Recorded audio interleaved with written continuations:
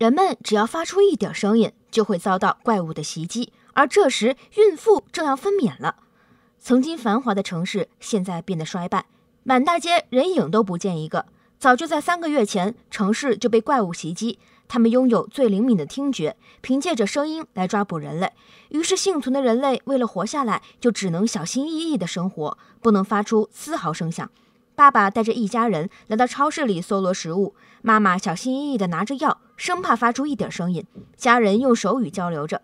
在要离开的时候，贪玩的小儿子拿走了一辆遥控飞机，爸爸却担心飞机会发出声音，把电池拆下来以后，就带着家人离开了。大女儿疼爱年幼的弟弟，就将飞机偷偷塞进他怀里，而这个小儿子却趁人不注意，将电池放进口袋里。一家人走到桥上的时候，小儿子突然拿出飞机玩，响声吸引了怪物。爸爸拼命跑过去，也没能救出小儿子。小儿子去世一年后，家人仍然过着寂静的生活。妈妈再次怀孕了，她积极地迎接新生命的到来，还自己给自己做产检。而爸爸还活在失去儿子的痛苦里，他始终埋怨着自己没有救下小儿子。晚饭的时候，一家人手握着手做祈祷，他们无法与怪物做抗争。只希望上帝能赐予他们平静的生活。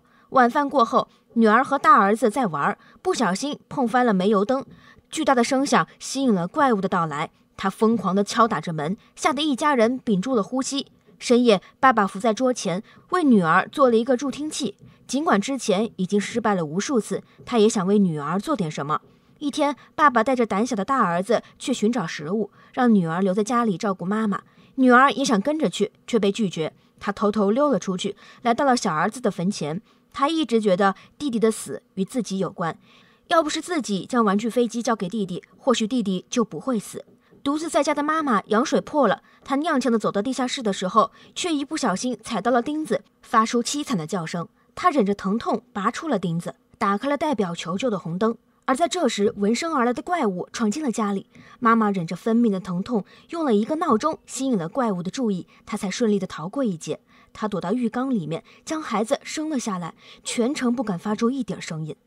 爸爸看到屋外亮起的红灯，就知道妈妈有危险了。而这时贸然冲进房子里，肯定会被怪物一锅端，所以他让儿子去放烟花，吸引怪物的注意力，自己就拿着枪解救妻子。他抱着妻子和刚出生的孩子。躲到了地窖里面。这时，孩子发出了哭声。他为孩子戴上了面罩，再装进了一个育婴箱里，才听不见孩子的哭音。女儿看见了天空的烟花，赶紧回到家，却看见怪物正在寻找猎物。那一刻，她不敢发出声音，紧紧地攥住助听器。助听器发出刺耳的声音，怪物一听到，撒腿就跑了。爸爸没有任何声响，以后就从地窖里钻了出来，去寻找女儿和大儿子。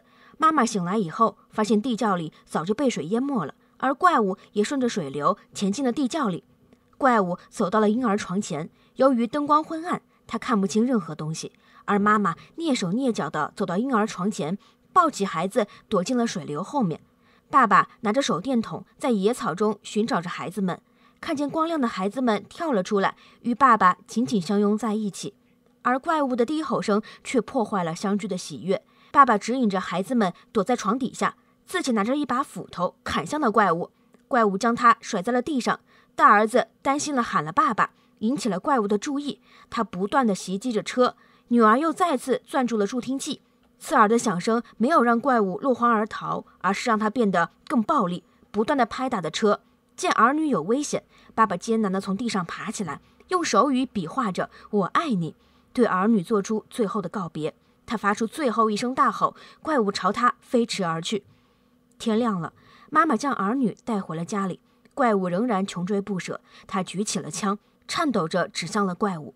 丈夫死后，保护家人的责任却落到了她的肩膀上。怪物一步步逼近，在妈妈身后的女儿再次攥住了助听器，刺耳且持久的声响让怪物痛苦不堪。他刚想攻击家人，妈妈就举起了枪解决了他。其他怪物听见了枪声，纷纷朝他家里跑来。妈妈看向了女儿，女儿心领神会，再次开启了刺耳的声音。而妈妈举起了枪，再次与怪物搏斗。本片《寂静之地》在北美地区被称为2018年上半年期待度最高的恐怖片。无声塑造的恐怖气氛加感人的情感内核，得到了广大观众的好评，但也有人认为它赞誉过高。毕竟这部片子还是有很多 bug 的，人们在找 bug 的时候都很难沉浸到恐怖的氛围之中。好啦，今天的解说结束了，这里是大乔讲电影，下期见。